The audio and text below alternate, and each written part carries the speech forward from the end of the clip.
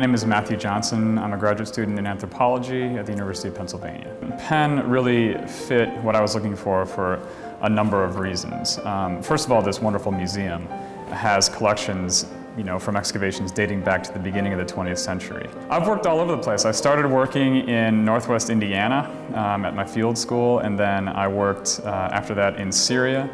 Then I came back and worked in Missouri as a contract archaeologist for the highway department there. And then I came back to Penn and resumed my work in Syria.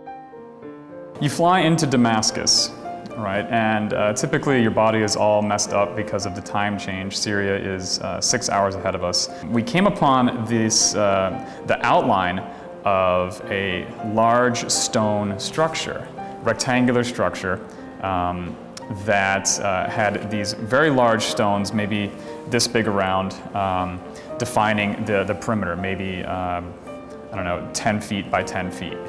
We were excited initially because uh, it looked like the outline of a tomb chamber. I recall hearing people exclaiming uh, nearby. And what's funny about that is we have these large, what we call bulks, separating the excavation trenches. Um, so maybe two or three meters wide and four or five meters tall. So your friend could be 10 feet away, but there's this massive earthen bulk in between you. So I heard Alice sort of talking excitedly, and, and her workmen from the village kind of jabbering away in Arabic really excitedly. And uh, so I stopped and went over and took a look, and there was this um, beautiful uh, cranial element sticking out of the ground, and right next to it was a nice ribbon of gold, maybe this big. Uh, that just gleamed in the sun, and I thought to myself, oh my gosh, we found a, a, tomb that hadn't been looted. We dropped the heavy equipment, the big picks and shovels, and picked up uh, the small brushes and small trowels, and started going down very, very slowly. And then, uh, then we knew it was a tomb, and really went slowly and expanded from that skull.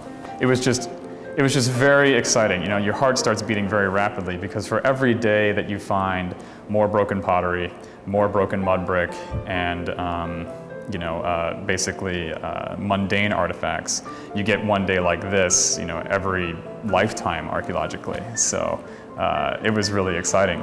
Clearly the women were the most um, ornately or adorned, which kind of goes against this notion that it was a very um, sort of patriarchal society back in the early Bronze Age. Um, they, were, they were so well furnished that they must have enjoyed some kind of elite status in the society. I'm excited that I, I have the opportunity to go back this summer uh, and continue working in, in, my area, which, which personally has turned up uh, three additional tombs um, that I have excavated, and there are probably more sticking out of the wall that we need to, uh, that we need to go after. So um, yeah, it'll be, it'll be fun to try and see what else is around.